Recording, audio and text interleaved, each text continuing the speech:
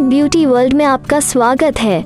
दोस्तों, मैं फिर से एक नया वीडियो लेकर आया हूँ। एक समय था जब बाल सफ़ेद होते थे। इसे भूरे बाल भी कहा जाता था। किसी भी इंसान के बुढ़ापे की निशानी। लेकिन तब बाल 50 या 60 की उम्र के बाद परिपक्व हो जाते थे। अभी ऐसा नहीं है। अब स्थिति बिल्कुल विपरीत है। यौवन में बुढ़ापा आता है। जी हाँ तीस साल की उम्र से बाल सफ़ेद होने लगते हैं।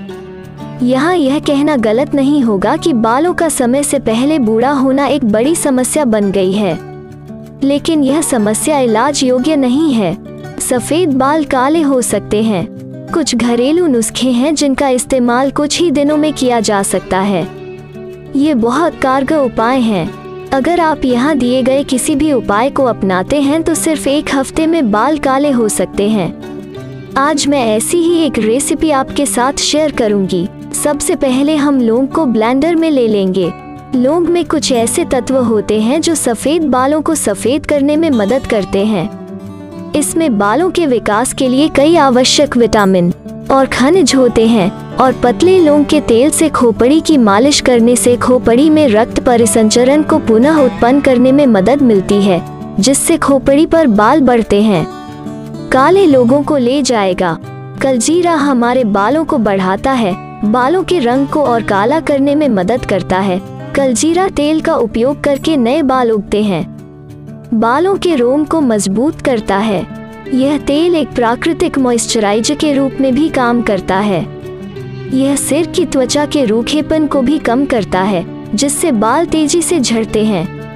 फिर मैं ब्लेंडर की मदद से पाउडर बनाऊँगा। मैं इसे एक खाली प्याले में रखता हूँ।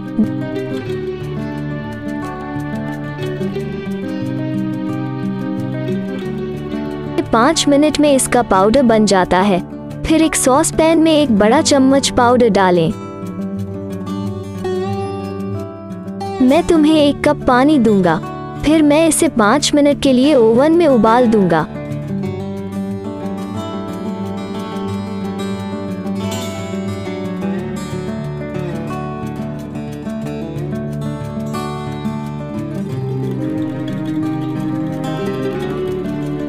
उबालने के बाद मैं एक फ़िल्टर की मदद से छानूँगा।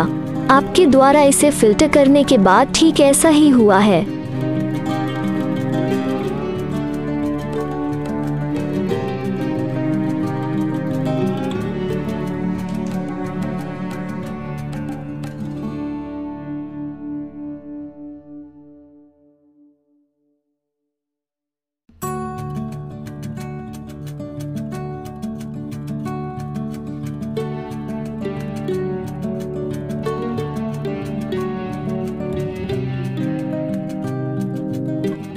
फिर मैं एक शैम्पू लूँगा। मैं सामग्री पूरी तरह से सामपुर में डालूँगा।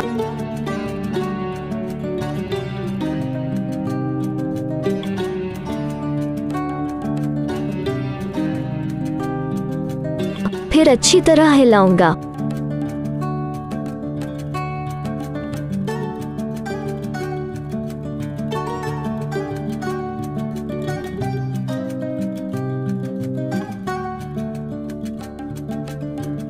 आइए देखें कि इसका उपयोग कैसे करें।